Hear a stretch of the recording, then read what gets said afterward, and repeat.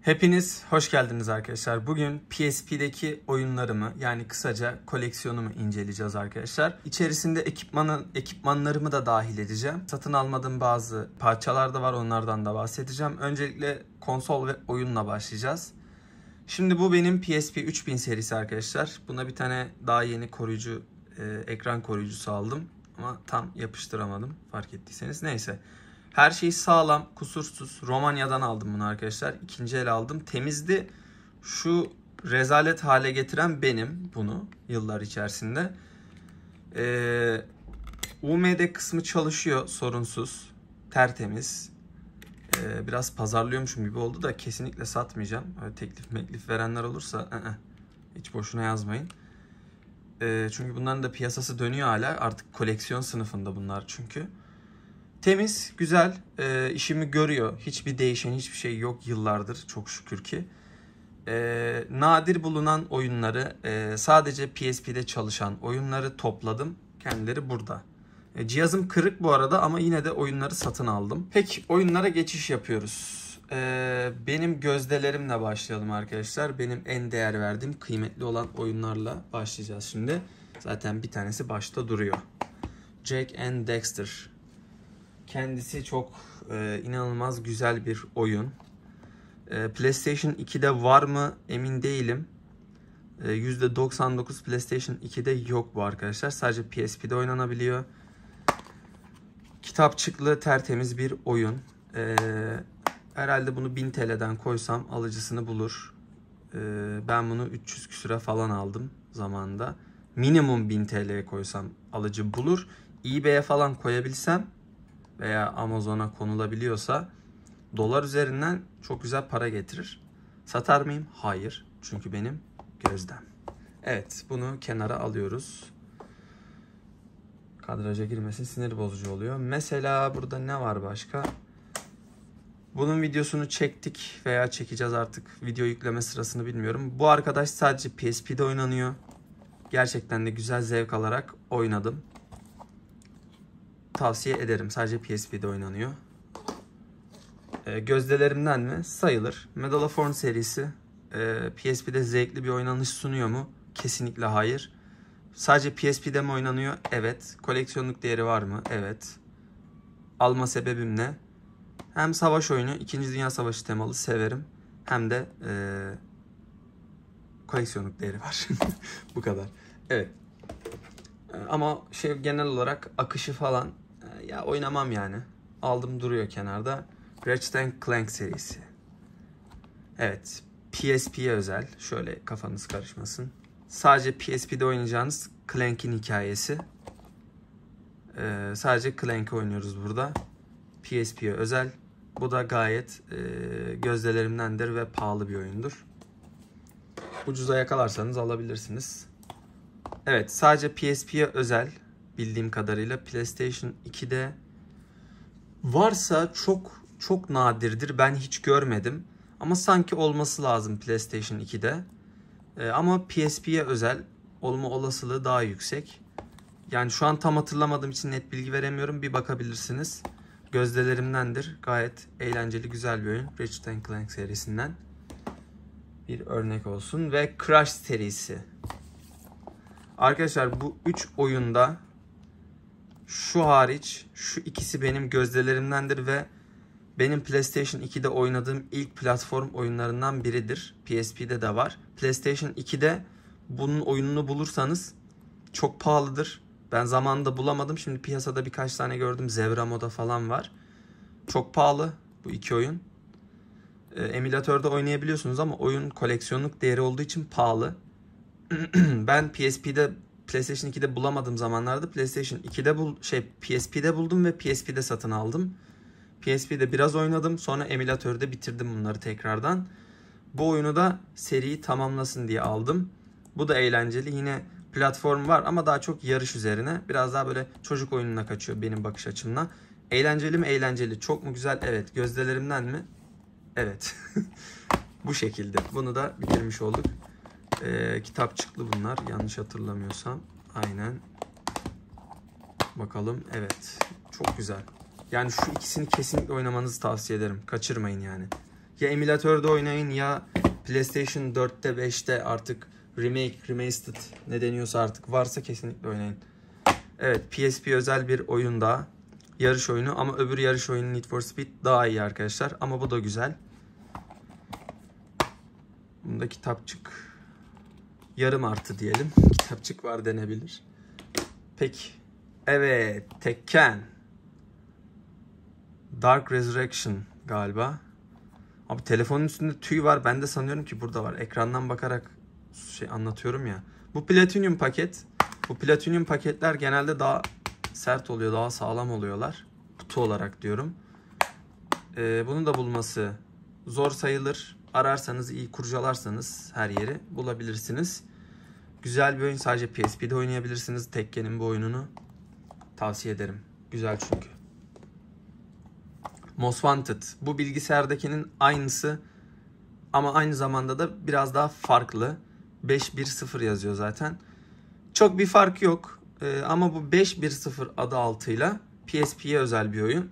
Yani Most Wanted'ın biraz değiştirilmiş hali. Ee, bakabilirsiniz. Most Wanted oynadıysanız hiç girmeyin o topa. Gran Turismo'nun PSP'ye özel oyunu. Zevkli. Ee, yine arabanın ön burun kısmından oynuyorsunuz. O biraz sinir bozucu oldu. En azından böyle bir FPS'ten oynamak beklerdim yani. Ama yok. Bu da PSP özel Gran Turismo'nun oyunlarından biri. Ama oynanır. Güzel. Oynadım. Evet Medal of Honor yapar da biz yapmaz mıyız? Çıkmadığımız platform, satmadığımız Samanyolu galaksisi kalmayan Call of Duty serisi dedi ben PSP'ye de çıkacağım tutmayın lan beni dedi. Buraya da çıktı arkadaşlar. PSP özel bir oyunu ee, World at War'a benziyor birazcık. Ee, biraz oynadım. Yani ben şahsen beni tanıyanlar bilir.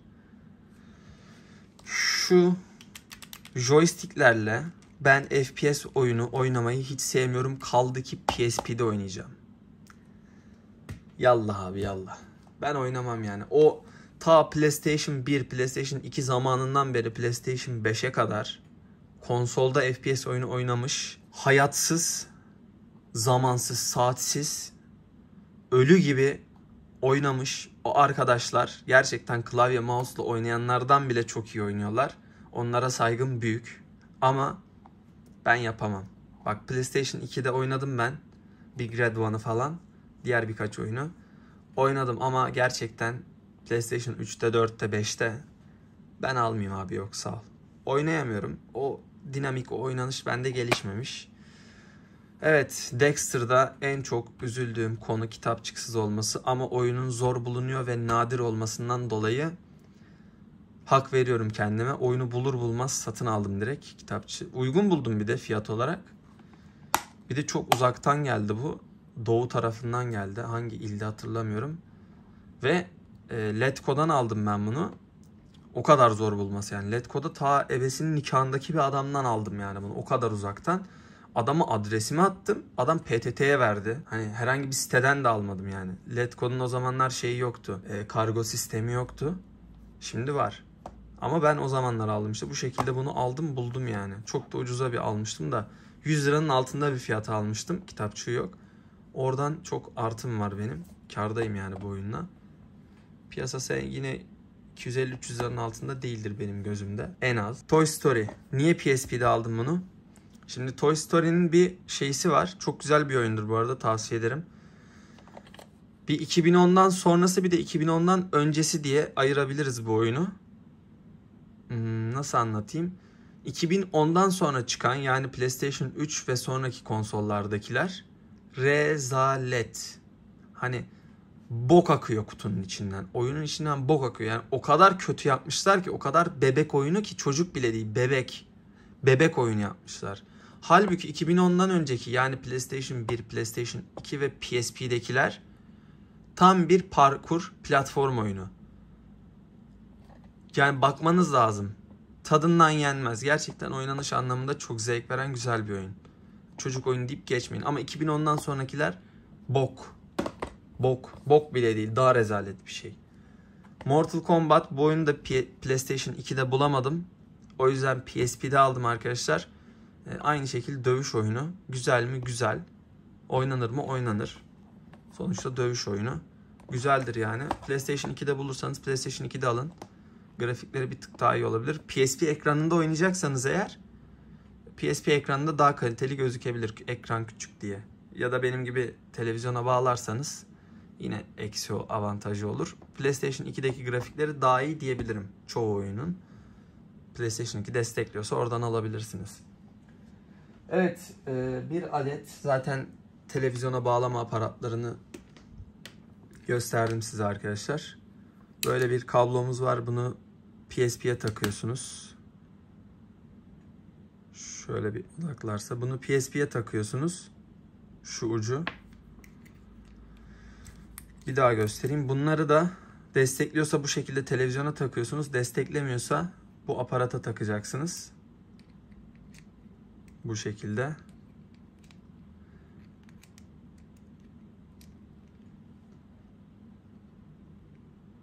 Ondan sonra PSP'deki görüntünüz tabi PSP'de bir ayar var. Ona bastıktan sonra televizyona geçiyor görüntü.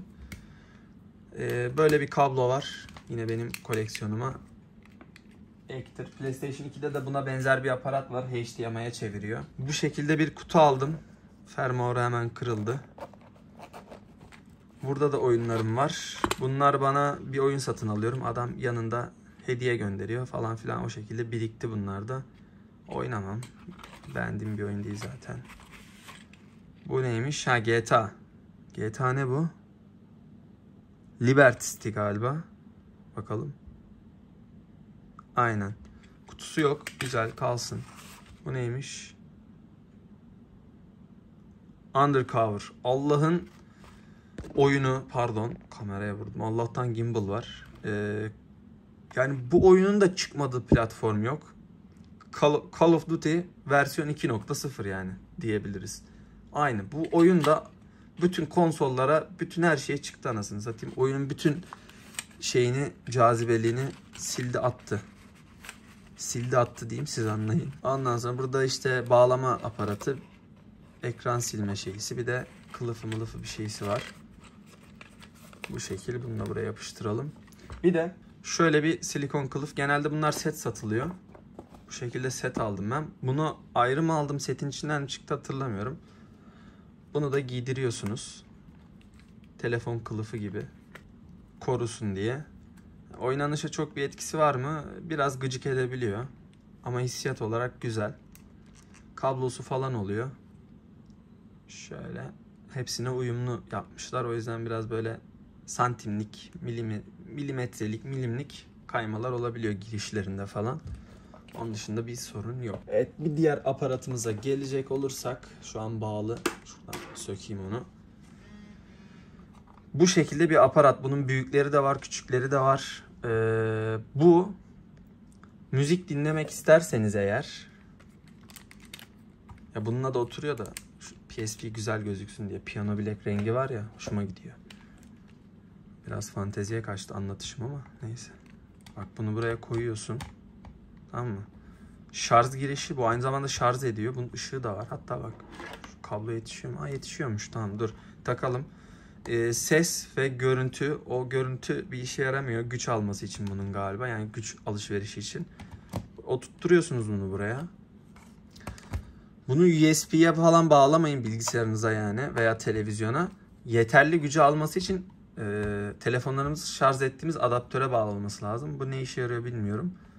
Bu kendi orijinal kablosu ama ne işe yarıyor bilmiyorum. Arkada bir butonumuz var. Bunu açtığımız zaman mavi ışığı da yanıyor böyle. Şu an şarj oluyor gördüğünüz gibi. Konsolu açalım. Ben daha hiç denemedim bunu. Denemiş olurum ben. Ya satın aldım. Koleksiyonuma ekledim ama test etmemiştim hiç. Güzel ses veriyormuş. Bir de bunun büyükleri de var. Yani şöyle bir şey düşünün. Bak şu ekranın şurasına kadar böyle kaplıyor. İki elim kadar şöyle. Tamam mı? Bir de bunu alıyorsun böyle yana doğru hoparlörlerini açıyorsun. Onu açtıktan sonra kocaman bir şey oluyor böyle eski tip böyle omzunda taşırsın ya şeyleri. Ee, ne diyorlar onun teypleri böyle hoparlörleri falan. Sokakta gezerler hani böyle old school tipler. Hani o tarz bir şeye dönüşüyor. Ama kabloyla bağlı olmak zorunda. Burada şarj oluyor zaten görüyorsunuz. Hani o tarz büyükleri de var bunu. Onu da ortasına oturtuyorsunuz. Burası açılıyor. Bunu ortaya oturtturuyorsunuz. Kocaman bir şey oluyor. Ses sistemi gibi bir şey kocaman. Daha pahalı tabii onlar. Onu bulmak biraz daha nadir. Ben birkaç tane görmüştüm de satılılı onlar da hemen. Bir de bu var benimki işte. Bu küçük bunu genel olarak bulabilirsiniz sağda solda. Zaten markası falan burada görüyorsunuz.